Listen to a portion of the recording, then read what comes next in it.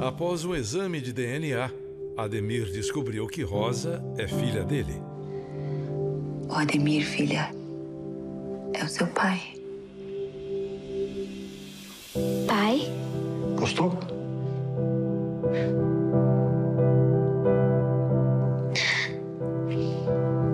Eu adorei meu pai. Hoje, Terra e Paixão.